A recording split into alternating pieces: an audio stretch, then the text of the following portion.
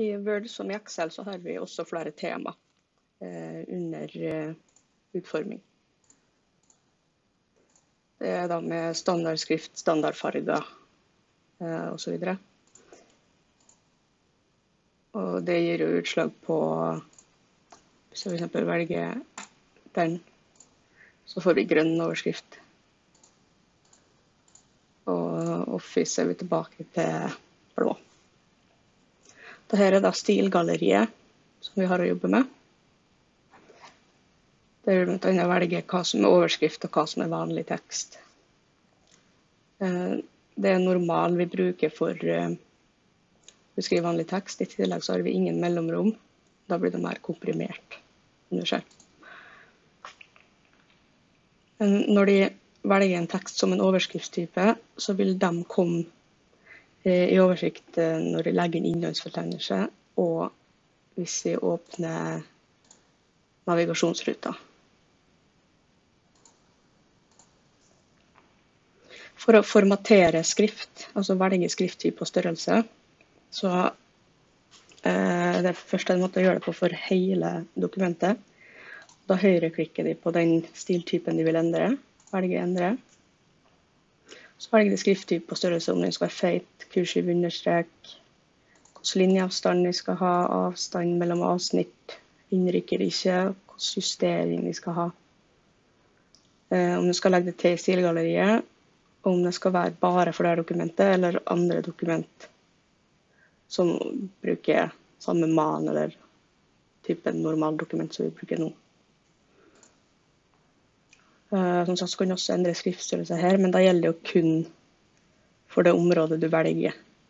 Eksempel hvis jeg vil ha skriftstørrelse 14 her, så endres det kun på den det jeg har markert. Samme gjelder med uh, feit skrift òg. Det er kun på det som er markert. Vi har også noe som er heva og senka skrift. Så hvis du f.eks. vil skrive at et hus er 150 kvadratmeter, så skriver du et hus er 150, og så skriver du M. Trykker på heva skrift og skriver totallet. Så må du huske på å skrive eh, trykk av igjen.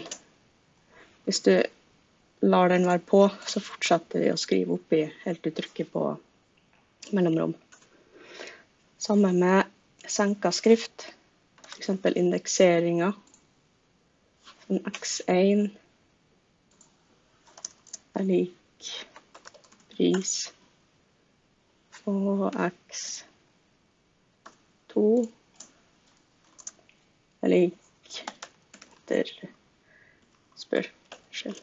Indekseringa skal noen av dere gjennom i SM200. Noen har kanskje vært gjennom det allerede. Du kan også formatere hvordan avsnitt blir seende ut. Eh, det gjør det på hjem og avsnitt og trykker på utvidelsen. Og da velger de justering, om det skal være innrykk, avstand før og etter avsnitt.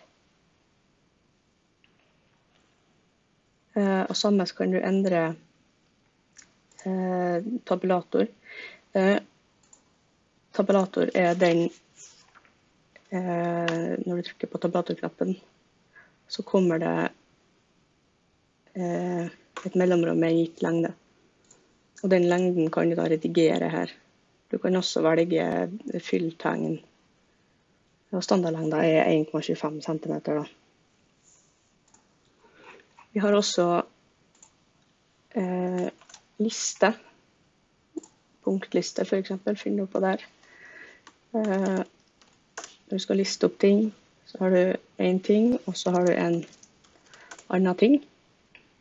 Og har du f.eks. noe som hører med til ting nummer to, så trykker du på tabulator eller de indre knappene oppå der. Og da har du en ting som hører med ting to. De kan også lese litt mer om formatering av dokument og om dokumentskikk på side 112 116 i bok 1.